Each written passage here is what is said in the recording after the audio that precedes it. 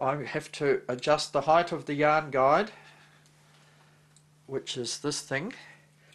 If you can see under here, the yarn guide has to be slightly above the needles, the ribber needles, when, when you put your needles in. Otherwise, they will jam as you're going around.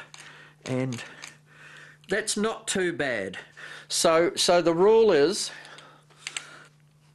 the needles just just be able to put a piece of cardboard in between them, I guess. And the same applies for the needles on on the um, cylinder. The guide needs to be fairly close to those as well, but not touching them or the latches will catch in the guide. This is the adjustment to raise the yarn guide vertical or raise it up. So you just loosen that screw off and you just tap that guide up.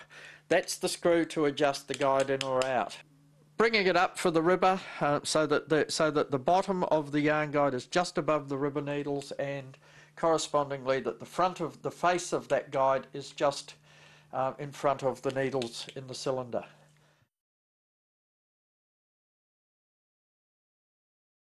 Right, now what you can see here is that it doesn't look like there's a very big stitch on that ribber and the reason is I had forgotten to, to loosen off the ribber tension and I have that on the lowest tension. So move your pointer right across as far as you can at this stage and tighten up the dial, the knob so that we're getting a large tension at this stage and we'll adjust that later on if we need to but usually fairly fairly in there in the highest tension is, is usually fairly good for the these ribbers. And just our last few needles in. And with any luck and a good wind behind us we will be ribbing. And I have one needle left to put in that I forgot. And I'll just slip that in there and throw those ones back in there now I don't, some people like to hold down on the fabric, some people like to hold down on the weights. If everything's set up right, in my opinion, the weight should be sufficient and you should be able to rib pretty easily. We're going around and we're doing some rib. You need to make sure that all the needles are knitting, that there was no open latches, and once we've done a few rows you, uh, you, can actually put your finger up and just run your finger around underneath and you can soon feel if there's a ladder there or if there's a stitch.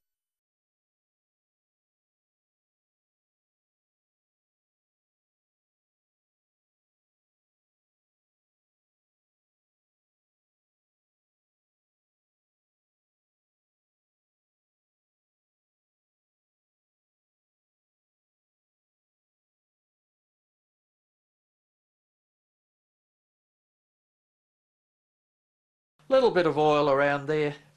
Um, just a little bit around on that in out switch because that does get a little bit stiff at times. And away we go and we're doing some ribbing.